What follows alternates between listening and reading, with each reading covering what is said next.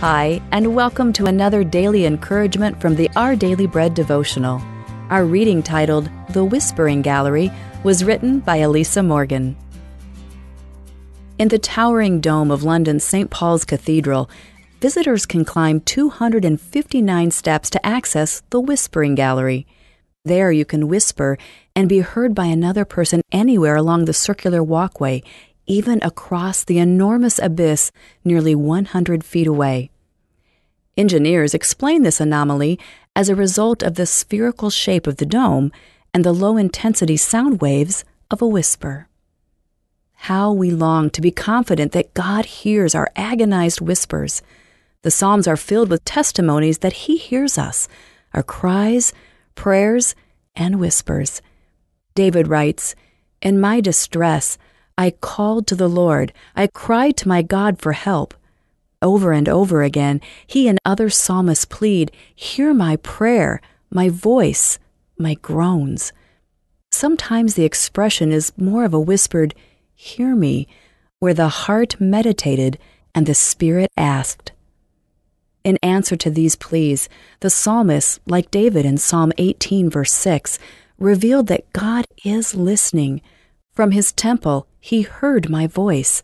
My cry came before him into his ears.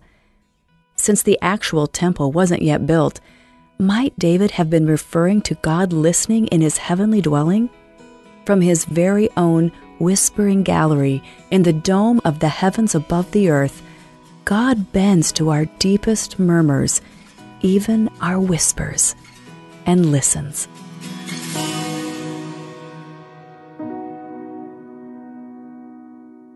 Today's Our Daily Bread devotional scripture reading is from Psalm 18, verses 1 through 6 and 16 through 19. I love you, Lord, my strength. The Lord is my rock, my fortress, and my deliverer.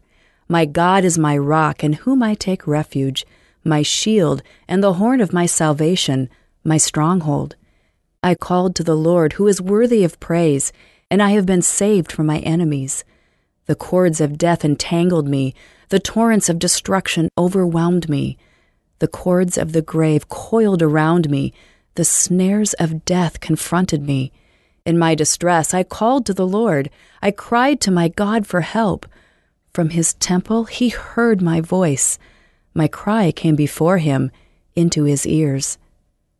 And now, verses 16 through 19. He reached down from on high and took hold of me. He drew me out of deep waters. He rescued me from my powerful enemy, from my foes who were too strong for me. They confronted me in the day of my disaster, but the Lord was my support. He brought me out into a spacious place. He rescued me because he delighted in me.